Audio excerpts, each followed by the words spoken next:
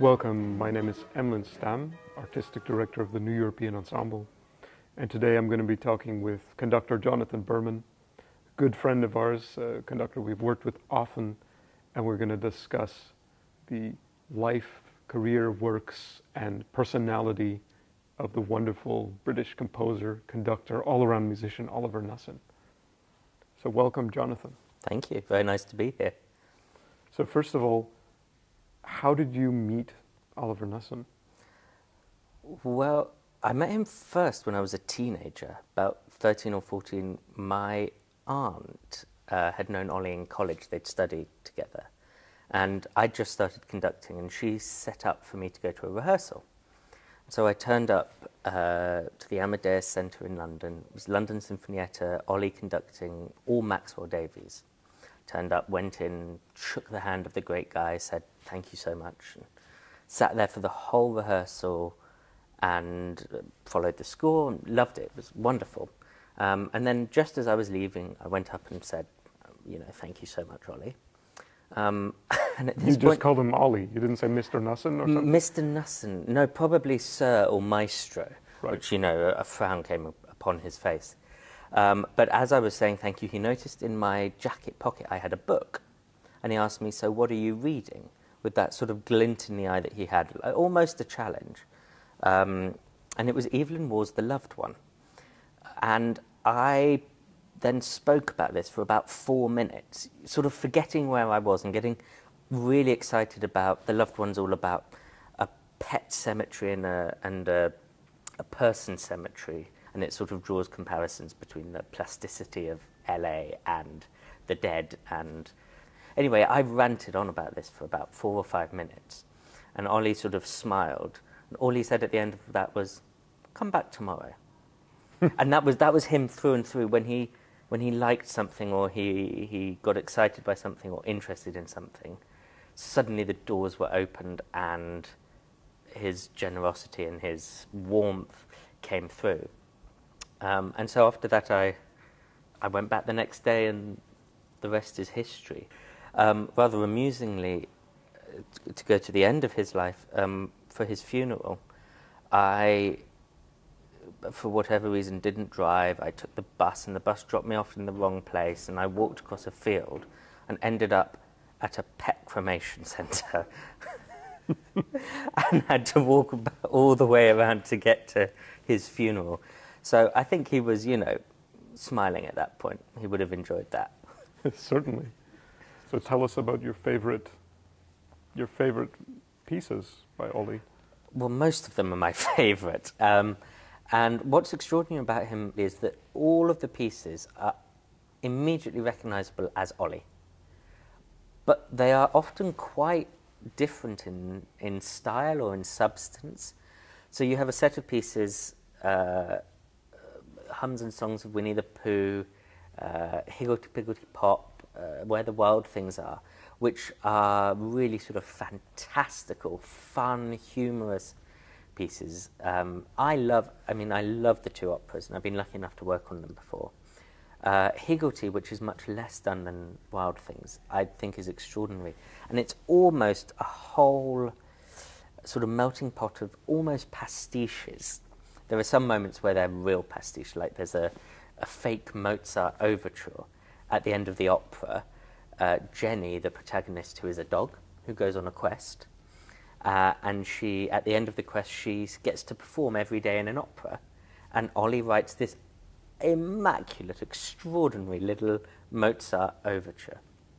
Also, earlier in the piece, he was very proud. There's a moment where a baby's going to sleep, and he writes these two. Um, the idea is that there's a mobile going above the baby's head with uh, a wind up mobile. And he writes these two uh, Mozartian numbers. Actually, they are directly copied, but he loves that there's one which sounds like Tchaikovsky by Mozart, and there's one which sounds like Mozart by Tchaikovsky. And he has those, and he, there's a little ratchet underneath it goes, and it really sounds like these two uh, mechanisms are going on above. He, in all of his music, actually, this connection between sound, uh, sometimes sort of percussive sound, a mechanical sound even, um, and the notes is incredibly tied together.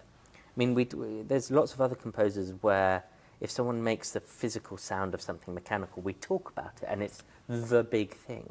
Ollie does it all over the place and it's so connected to the music that you you almost don't notice that there's something extra musical going on.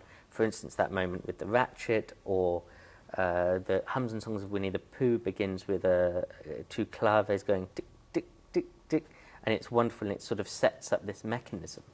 Then there's, of course, more serious pieces, and it's fascinating to look at the authors that Ollie set. So the operas are Maurice Sendak, we have A. A. Milne, uh, we have Whitman, Emily Dickinson, we have Auden, but then there's also Trakl, Rilke, uh, Antonio Machado, the Spanish poet. Um, Machado, Auden, Dickinson, and Rilke are actually all part of this extraordinary piece, Requiem for Sue, written for Ollie's late wife after she died. Um, and in that, he, he, he, each movement is almost a different type of music, but all connected with uh, little sets of notes and ideas and ensemble sound. It's a very mellow, dark sounding ensemble. Um, but he did something amazing, which he then later did in his last piece, O Hototogisu, with the text. So he, um, he knew he wanted to say something about his wife, whose name was Sue, but he couldn't find the right poem to do it. But he realized that Emily Dickinson's sister was called Sue, and so there's a whole bunch of Emily Dickinson poems which talk about Sue. And he sort of took lines from a whole different bunch of Emily Dickinson poems, collaged them together to create a sort of Emily Dickinson Knussen melange. And he did the same in his last piece with Japanese haiku, oh, O Hototogisu is about this bird, this type of cuckoo. And he took all of these Japanese haiku and didn't necessarily use all of them or all lines from all of them, but sort of collaged his own together, uh, which I think is an extraordinary way of working with text. And instrumentally, so he wrote, of course, operas for orchestra, for ensembles, for quite varied setups of ensembles. Absolutely. Solo voice pieces, uh, two concertos. There's a horn concerto uh, which uses the horn and the gestures of the horn in all of its romantic glory. Each gesture from that, even though it's very modern, note wise and structurally, is a sort of out of a Strauss piece or out of a Liszt piece or uh, out of a Wagner opera. It's extraordinary. The violin concerto written for uh, Pinchas Zukerman, um, where the violin plays this. Um, Ollie talked about the violin being like a tightrope. Actually, was written at the just after 9/11, and between the first and the last chord, he sort of imagined the two twin towers and a tightrope walker as the violin running between or uh, going between these two. Um, extraordinary piece, um, very sort of neoclassical in its sort of form. It's got an aria and a recitative, but incredibly personal and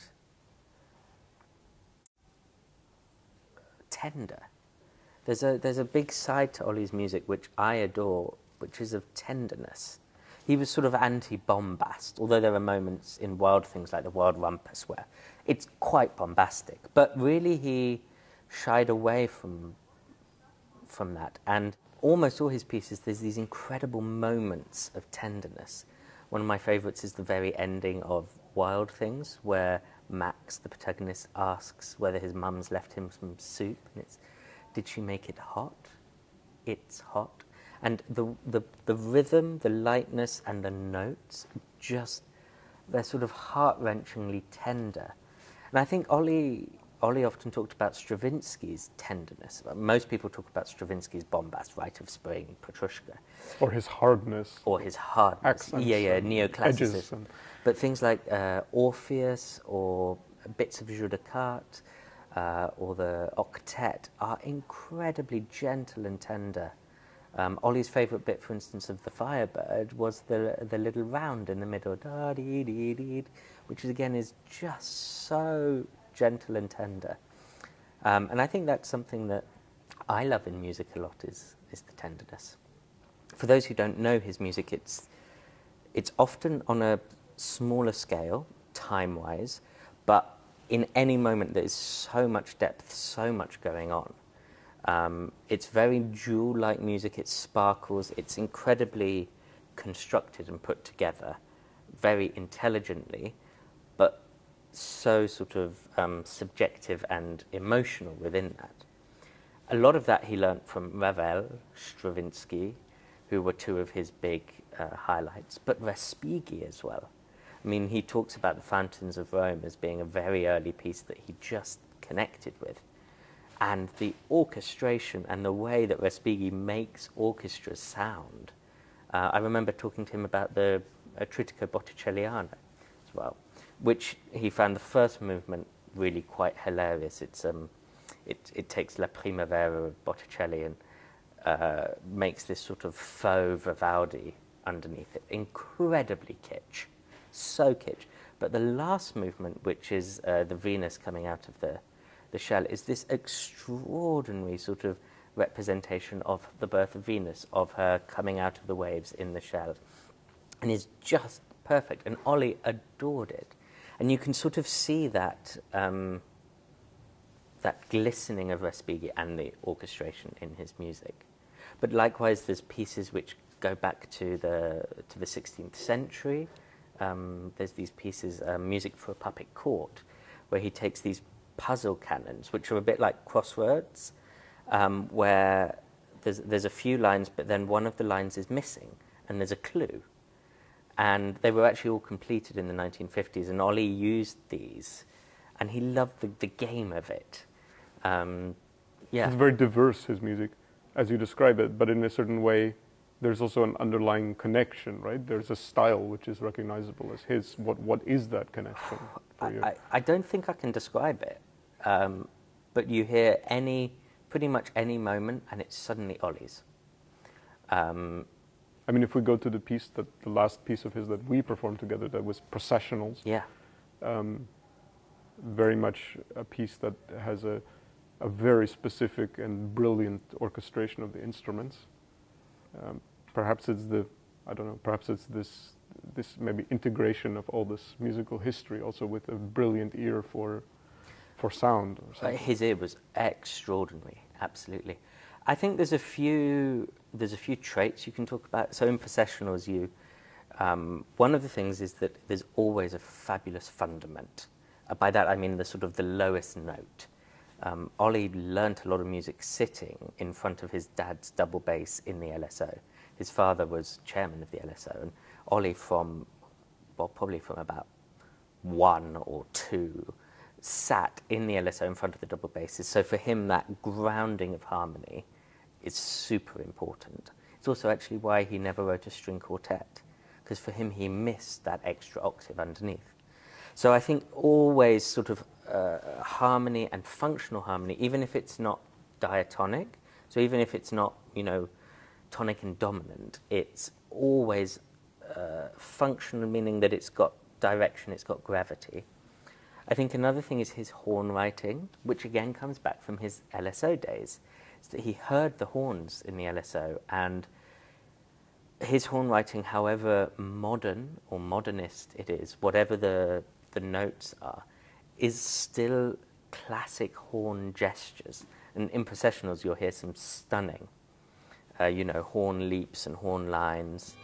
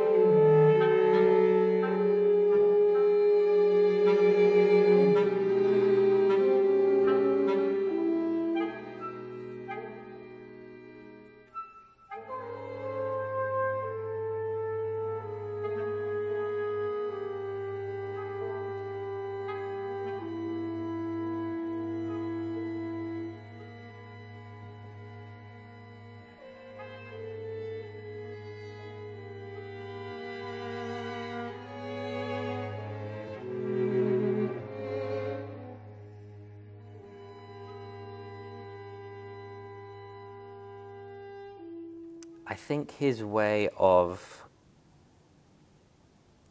accentuating important moments and making them very clear for listeners is really amazing. Often with percussion, uh, so you'll get a line, and in processionals this happens quite a lot. You'll get a line, and there's some complexity and things moving in different directions, and then at one moment things come together, and it's sort of exemplified by a a ting or a pit or a blip from someone, and whilst it's a very simple thing when you talk about it, actually when you hear his music, it's the surface of it is so easy to follow.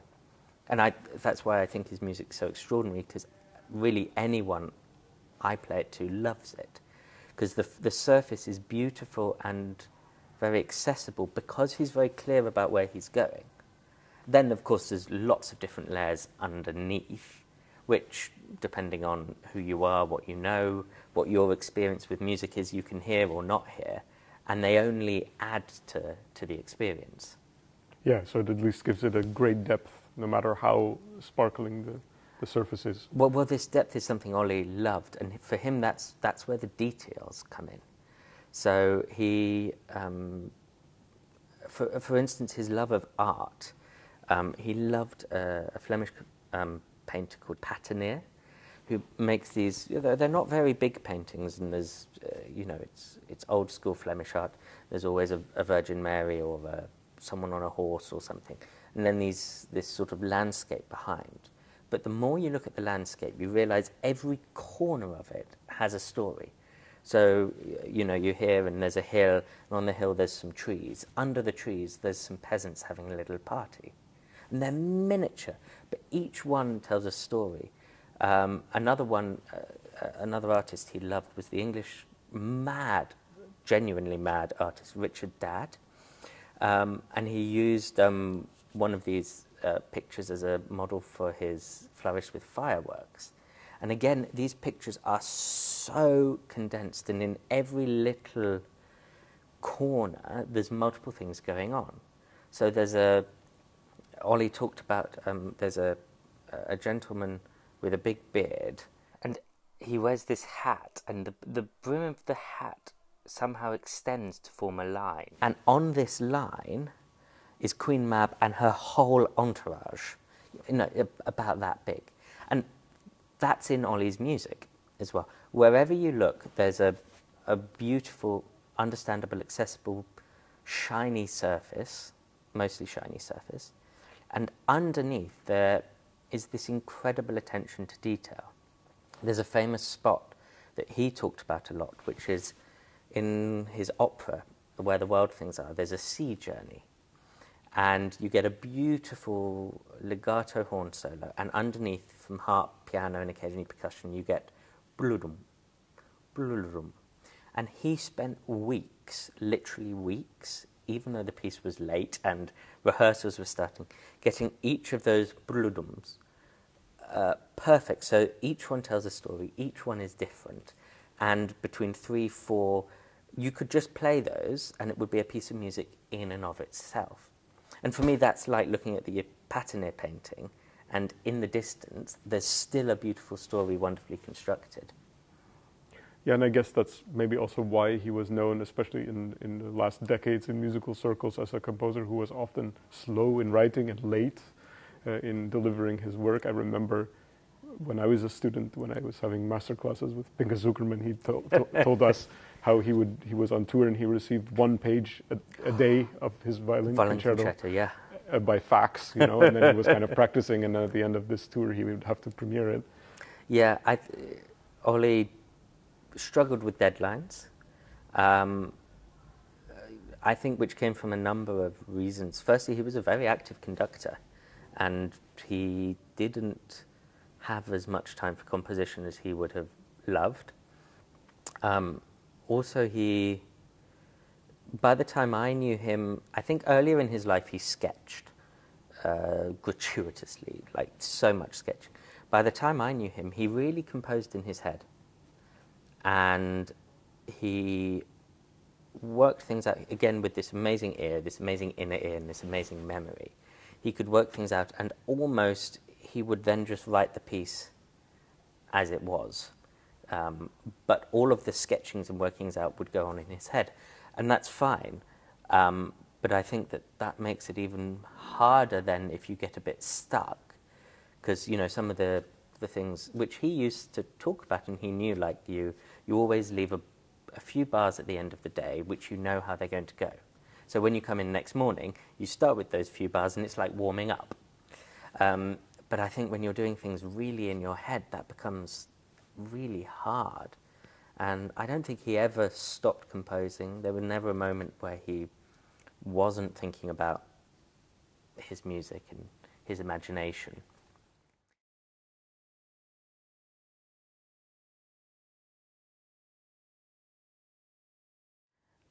So art played a very big role in Ollie's life and in his personality.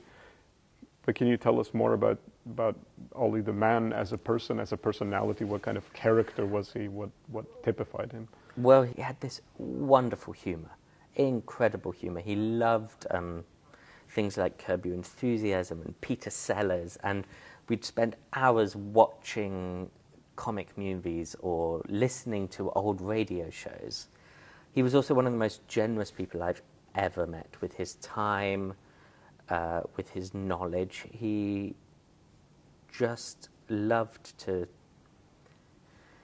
to offer people things about himself and so he really music. loves uh, kind of uh, passing on what he had yeah. to the new generation of conductors and composers. And Absolutely, it wasn't exactly teaching or teaching in a normal sense because, I mean, I very rarely conducted in front of him, and he'd say, "Do it like this" or whatever.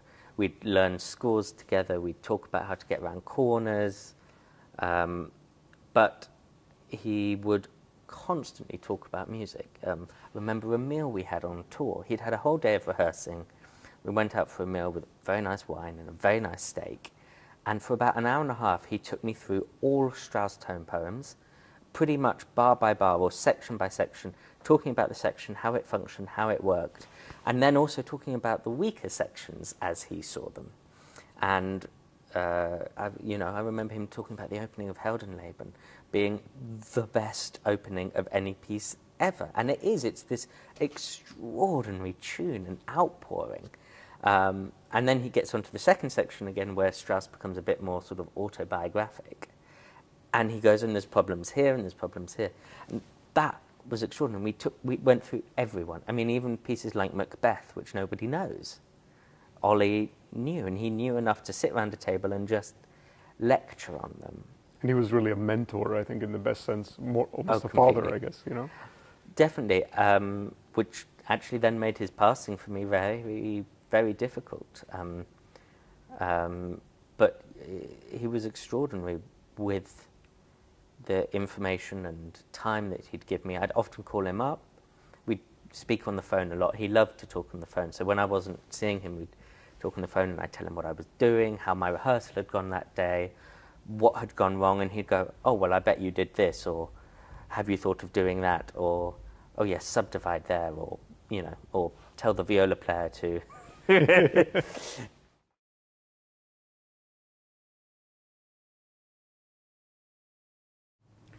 so you had the opportunity of working with Ollie at the composition classes workshops he did at Aldeburgh.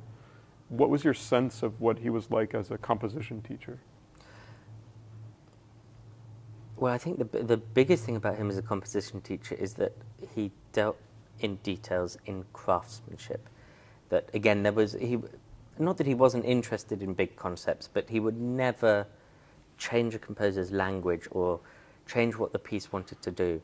He was incredibly fast at reading through a piece and understanding what it was trying to do, and then looking at ways of drawing that out of it. Often tiny ways of just reorchestrating or adding a little bit here or taking a little bit away of it was always it's very hard to generalize because it was always so connected to what he had in front of him the the sessions we had with ensemble was fascinating because he would just again play through things he wanted composers to hear things so we'd uh, they were wonderful courses people the composers would write something overnight i'd get an hour to learn it before the rehearsal in the morning, and then we'd play through what they'd done. And almost always, Ollie would say, okay, just play through it again. Giving the players a chance to get used to it, me a chance to get used to it, him a chance to hear it again. But mostly the composer just time with the actual instruments in a hall. And I think the composers that he worked with just learnt so much from him. And there's so many composers that he supported that he then took on after these courses and performed their music and helped them and I mean all the way back to Mark Anthony Turnage who again we've done here together. Um, Julian Anderson uh, Tom Adès through to Charlotte Bray Helen Grime Oscar Bettison uh, Freya Waley-Cohen who was his sort of final student some way. And Ollie not only taught them at a table in front of an ensemble, but he would then support them and perform their music and perform it multiple times. It wasn't just a, I'll do a premiere, it was often he'd do the second performance and third performance and invite these people into rehearsals and talk to them and treat them with so much respect and so well. And interestingly, from those composers you named who worked with Ollie, who he mentored, they're they're extremely different. They all have their own style. They have extremely contrasting ways of dealing with musical material. So then I guess it comes back to what you're saying that he must have really given them a lot when it comes to the the detail of how do you orchestrate, how do you get your idea out, and how do you deal with notation in a way which is functional for a conductor and a musician. Right? I think Ollie he would have loved to be seen as a craftsman. Uh, you know, he talks about the fact that when someone makes a chair or makes a table even if it's a beautiful, ornate, perfectly balanced one, no one questions why they do that. They go, oh, well, what beautiful craftsmanship. And I think for him, he'd love to see the same thing with music. Uh, you know, we often have to ask for uh, all sorts of reasons why we make music, what's the role of music in the world. And for Ollie, those, just music was. It was just there. It was something almost absolute. And he did it because that's what he did. And I think that that way of teaching then, and you look at his students and they all have that sort of, not quite absolutism, but uh, clarity of craftsmanship. They're beautifully written. I mean, sometimes actually, the physical writing, Ollie loved the way scores looked. And his scores are almost all handwritten by him. The operas are a bit of an exception because they were such a huge project. Although it's quite fun if you look through the original handwritten scores of Where the Wild Things Are and Higgledy Piggledy Pop, that you can see who was copying out, and it was all of the top composers of the day were doing a scene each. Fabulous. But Ollie's scores are beautifully handwritten in this tiny handwriting, and they look perfect. I don't mean they look neat and clean, although they do, but they look like the music that they resemble um, auditorily.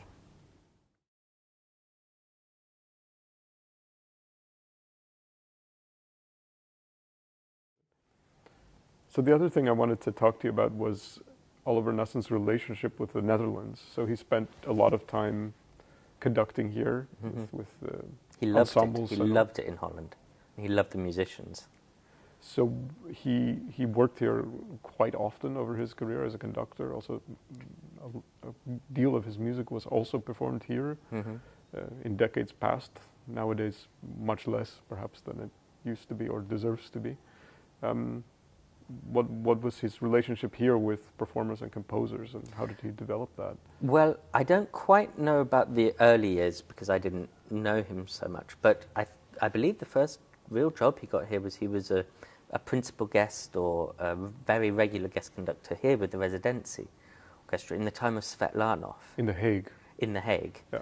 Um, then by the time I knew him, he was conducting regularly with the Asko Schoenberg Ensemble. I saw him uh, with the Concertgebouw as well. And he, he, he not only loved Holland, loved Amsterdam, loved uh, the people here, but he had incredible friendships here. Um, I remember dinners post concert where sort of everyone from Dutch society would Dutch music society would come and would come and meet him. And, uh, he was very close to Reinbert de Leeuw. Um, a lot of the fabulous players from the Asko Schoenberg, and he'd go to their houses and they'd perform his music and uh, talk and drink wine. Um, and he, of course, wrote the. There's a, a piece called Two Organa, of which the second one was written for the 25th anniversary, I believe, of the Asko Schoenberg.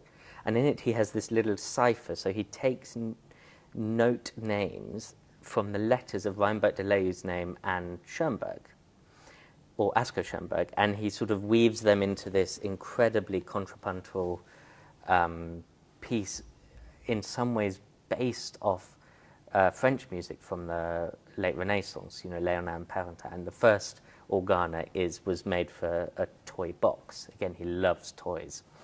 Um, and so Ollie did quite a lot of Dutch music as well. I, one of my favorite amazing experiences was conducting Reinbert's huge piece, uh, Die Nachtliche Wanderer, with Ollie. It needs two conductors, and we did it in London at the Proms. And we had a week, an extraordinary week, with Ollie and Reinbert performing this music.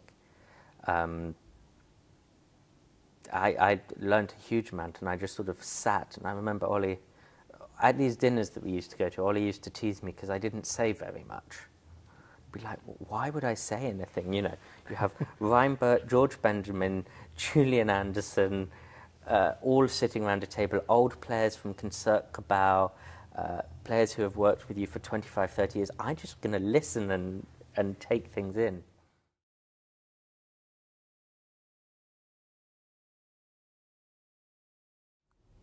So Ollie was somebody who also admired previous generations of conductors. Yes. So he saw himself as part of a historical tradition, or how did he view himself within that history of conducting? Well, his, his conducting was extraordinary. He, he had this incredibly uh, small beat. There was a lot of point or click to it. Um, and he would also often subdivide within a beat. So if a bar's in 4-4, you go 1, two, three, four. He would help players by doing one and two and three, or maybe a triplet, one, ding, ding, ding, gong, ding, and it's very light. And he could trace that tradition back to someone like Bruno Walter, uh, who he adored. I was lucky enough to do a few concerts with Ollie as the second conductor, some Charles Ives, the Reinbert de Leeuw, um, and that was absolutely fascinating because the way his click connected to the beat was something very, very special. And you can hear it in his recordings, is that there's this constant movement. Everything moves forwards. There's always line, even if something slows down. Um, for me, what I learned, because so in both the Ives and the Reinbert de Leeuw, I have to conduct at cross purposes, so in different time signatures to Ollie. And if I conducted the right tempo, then I'd always end up fractionally behind Ollie. That what you had to do was just almost like scoop each beat and move it forward. So he was constantly just on the forefront of every beat. So it was still exactly the metronome mark, but just moving forwards. And I think that this, um, this ability with tempo came very early on. He talks about watching gramophone records and about learning about time from gramophone records. So he knew that one side of a disc was four minutes or six minutes or whatever. And he developed real absolute time. And I think this is fascinating when it comes to his tempo markings as well, because a lot of composers write tempo markings, you know, metronome markings, so crotchet equals 120. And for some of them, it's the right speed. For some of them, it's not quite the right speed. Um, but for Ollie, it was less about the speed at which something went, but more about the length of time it took for that section to, to sound. And this sounds maybe a little bit theoretical for some people, but he really knew what 32 seconds was, or 16 seconds, or a minute and 52. And he knew, he could really tell when it was a minute and 54. Um, he had a wonderful um, toy which we used to play with together, which was a stopwatch. Um, and you sort of tapped it, and it would tell you how many beats per minute. And so he'd challenge me, he'd go like 120, do, do, do, do, 122, no. And then he'd do it 120 or 96 or whatever. Um, and just uh, on a personal side, I use his music still to pick tempos. So for me, 120 or 60 is, and as he sat, he sang this, li-" or 113 is higglety pigglety pop. And I, when I'm sort of having to pick tempos out of thin air, I have little bits of Ollie's music going around my head. And we used to sit and watch endless videos of old conductors, of Charles Munch, of Fritz Reiner, of Lovro von Matačić, who he was an extraordinary conductor, very unknown these days. Um, and Ollie had this sort of incredible understanding of their techniques, and he would talk about it just sort of lying on his sofa, and I always sat in the chair. And he'd sort of just make comments, and they were, they were gemstones of comments. Uh, he talked actually about his father teaching him to conduct. I think his father had really wanted Ollie to be a conductor. And for Ollie, his sort of rebellion, or one of his rebellions, was being a composer, uh, not so much being a conductor, although he, of course, then did conduct and conducted incredibly.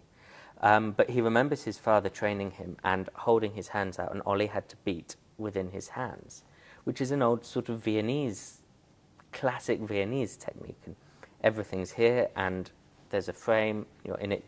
You connect with your eyes. He, so much of what he did was through his eyes, and he talked to me a lot about that and um, about when to look at people, when not to look at people, when to. He had this wonderful wry smile um, and you know, it's, it, it's that old classic thing of when someone makes a mistake, you leave it. When someone makes a mistake a second time, you look at them.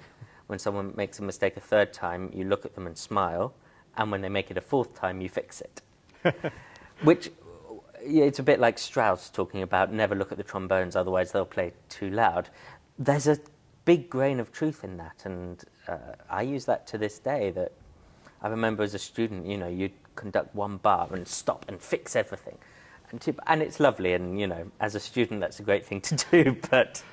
It's the pitfall of many a young conductor to try and control and fix every single detail. Of it. Absolutely, but just playing through and playing through and playing through, and, you know, musicians are really, really, really good in orchestras, and they fix things, and then you can help them, and then then the, the rehearsal is incredibly economic. Ollie was an amazing.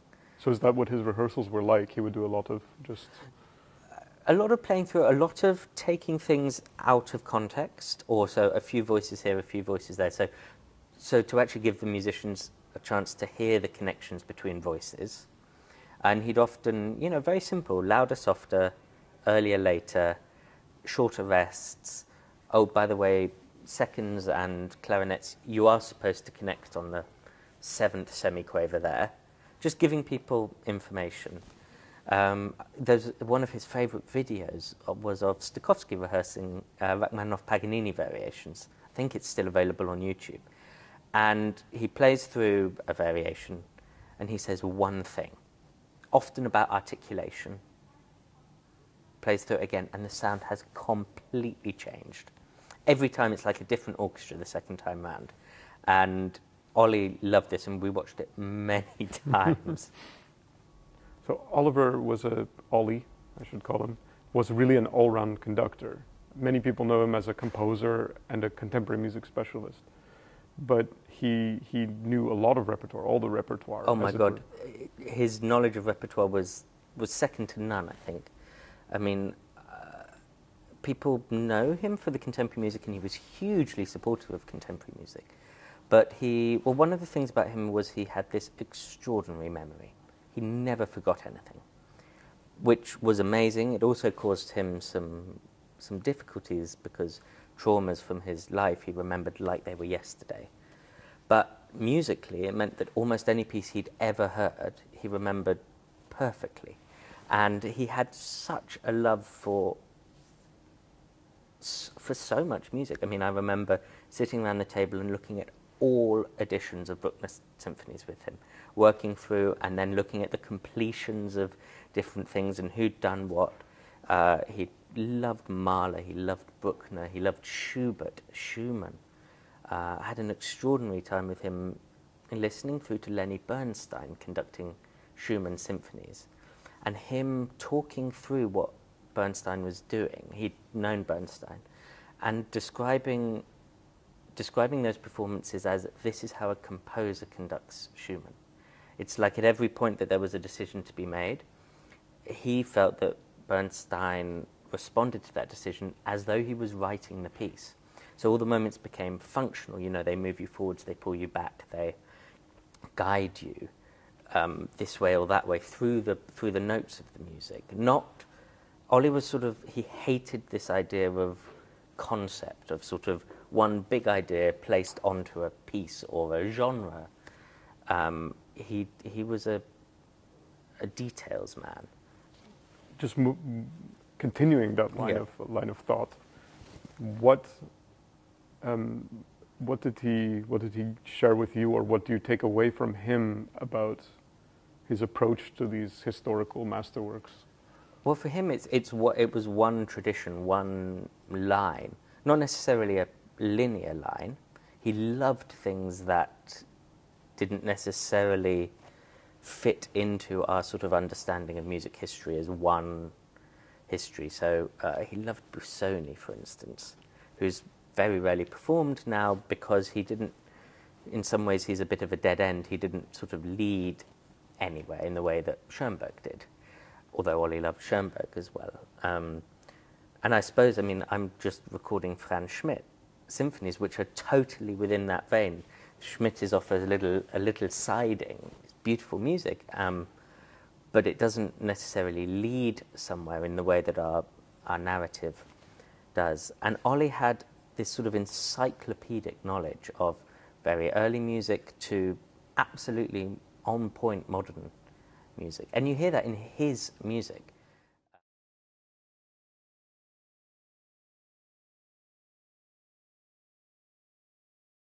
Craftsmanship that, that Ollie represented, how was that also symbolized or represented in his conducting, his way of conducting? Well, he firstly he he conducted pieces that he thought were very well crafted, uh, from Tchaikovsky to Elliott Carter uh, to Mozart. Um, he treated every note, I mean, if not equally, of equal importance. There were never any shortcuts. There were never any um, you know, make the surface interesting and don't worry about the rest. It was always um, highlighting the full score of everything that was there and taking every note, every marking, every manuscript, every correction, every letter into account. Uh, and we, I mean, that's something we really connected on because I'm a complete nerd and I love looking at old manuscripts and uh, handwritten things. Uh, we were lucky we went to the Library of Congress together and saw some extraordinary scores. Um, he got out Schoenberg's Serenade, all of the original manuscripts, uh, The Survivor from Warsaw, uh, which I hadn't realized. So it's written at the end of Schoenberg's life, and Schoenberg's eyesight was going. So it's written on these staves that are big, and like these big note heads like this. Amazing, and that piece as well. Uh, I looked at Pierrot Lunaire, which of course Ollie had recorded.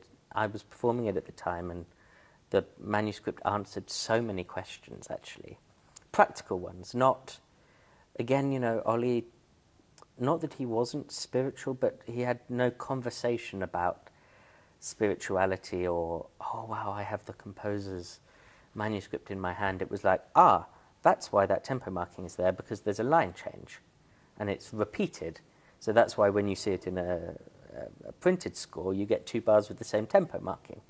And it's like, oh, that answers a very practical question. He was so pragmatic, so practical.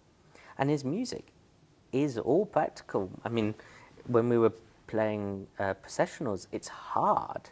It's, you know, there's a lot of detail and particularly the verticality of getting a lot of it together is difficult but it's totally practical, and he understood instruments, ensembles, orchestras.